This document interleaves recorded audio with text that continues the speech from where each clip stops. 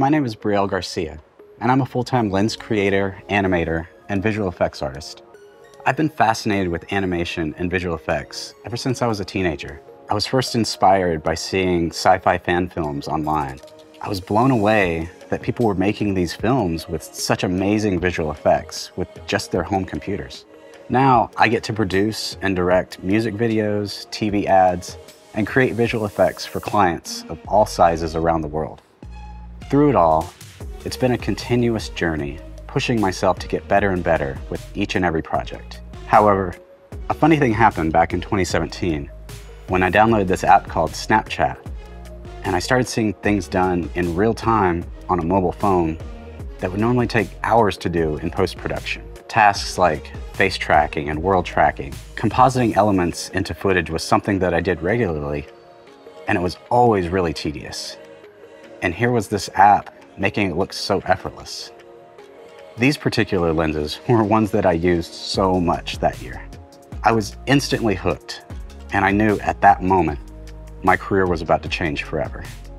While I began working on a lot of different AR lens projects for clients, I've always kept an eye on how I could use these tools for animation and visual effects. I've made custom lenses in Lens Studio to animate characters, alter actors, add makeup, remove objects, and more. I've made lenses to help create previs and storyboards for productions, and I was able to quickly create references for productions where the filming was taking place across the country, but I needed specific shots. Between client work, I spent a lot of time just experimenting with Lens Studio, testing its boundaries and really seeing what it could do. And each release brought great new features for me to build with. But I wanted more. By 2022, the Snap AR platform was capable of full body, hand, and face tracking. The quality of Snap AR's technology was approaching that of my professional motion capture suit, and it was way faster and easier to use. I dreaded every time I had to suit up for my work. With a suit, you have to make sure everything's charged, put on the suit and sensors, and then calibrate, reconnect, recalibrate, it can take a good 30 minutes or more before you're ready to actually capture. I wanted the speed and convenience that I get from Snapchat, but with the ability to use their technology in my professional workflow. I wanted to bridge the gap between mobile AR and high-end animation. After gaining access to CameraKit mobile and web SDKs, I've been working hard on a bunch of different experiments in that area. CameraKit enables you to embed the Snap AR runtime within a custom native iOS or Android app. This opens the door to things like large file storage, network access, custom UI, and so much more. Plus, you still get to do all of your regular lens development within Lens Studio. It's really the best of both worlds. One of my film experiments involved a custom camera kit app I made that streams tracking data into a PC to drive characters in Unity and Unreal.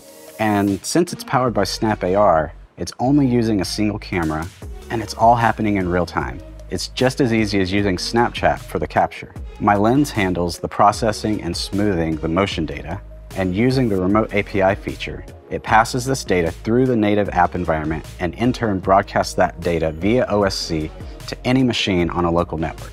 Then using a custom PC app built with Unity or Unreal, I can receive this data and apply it to characters enabling me to have full access to the rendering capabilities of a desktop GPU. While rendering on a separate powerful computer is great, sometimes the convenience of a single device is more important. Thanks to the amazing Unity wrapper work by the Camera Kit team, I've got another really cool experiment in the works. And because I'm much more familiar with C Sharp and Unity for native development, this wrapper makes a lot of things so much easier, like allowing you to easily pass data back and forth between Unity and Snap AR lenses. You can launch different AR lenses, all while building the UI of your app in Unity. One feature I specifically requested was the ability to run the lens simultaneously and in the background. And fortunately, the Snap AR team was able to support this. So again, using remote APIs, I can send the body, hand, and face tracking data from my lens into the Unity environment. And there I can use it to drive high quality characters and all in real time and on a single device. I can use much higher end lighting, rendering, and post-processing effects, and the characters can be orders of magnitude larger than a lens size limit as well. These clips here can directly compare the quality of my motion capture suit and what was captured on a phone using this Unity wrapper.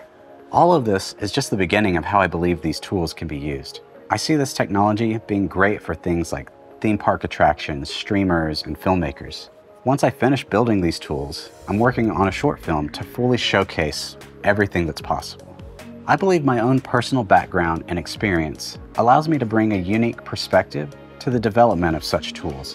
While I'm building the tools needed for my own creative pursuits, I'm hopeful that they'll help others too. Having the ability to collaborate with the Snap and Camera Kit team has been invaluable, and truly feeling heard as a developer is so refreshing. The team is so brilliant and so excited to help. No matter how weird or crazy my ideas might be, they've been able to add features that I've needed. I'm so excited for what Snap AR technology through Camera Kit has enabled me to create, and I'm just getting started.